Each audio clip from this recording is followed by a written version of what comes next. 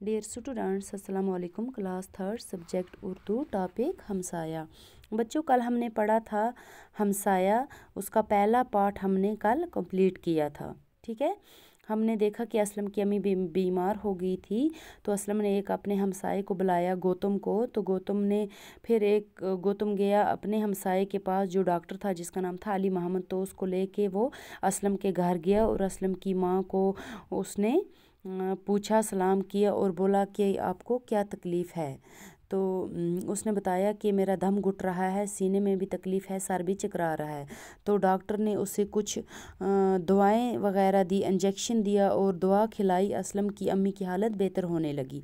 Doctor ने कहा, भाभी अब घबराने की कोई बात नहीं, लेकिन कल आप हस्पताल आके खुद का चेकअप ज़रूर करवा लीजिए।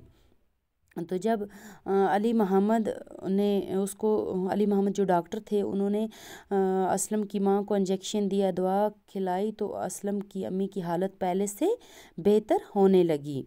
तो डॉक्टर ने उससे बताया कि घबराने की कोई ज़रूरत नहीं है, कल आप हॉस्पिटल आके अपना चेकअप ज़रूर करवा लीजिए। गौतम शाबाश बेटे, शाबाश।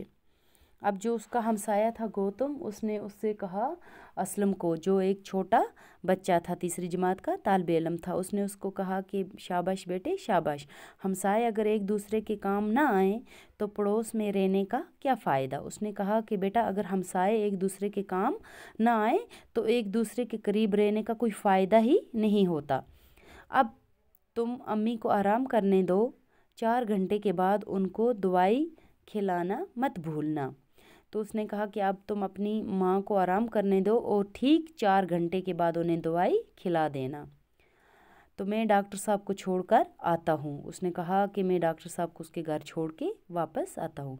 असलम उसके साथ दरवाज़े तक आया। उसने उनका शुक्रिया अदा करके उन्हें सलाम किया और फिर दरवाज़ा बंद करके अंदर चला गया।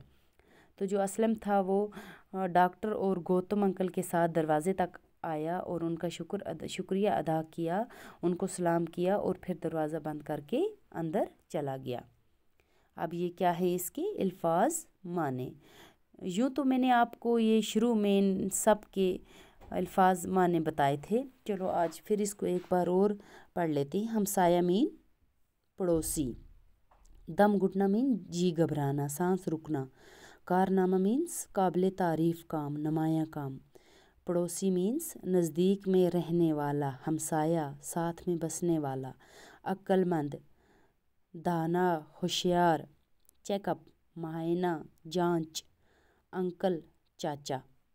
ठीक है? ये इसके अल्फाज माने थे। तो बच्चों, आज हमारा टॉपिक यहीं पे ख़त्म होता है। अल्लाह हाफिज़।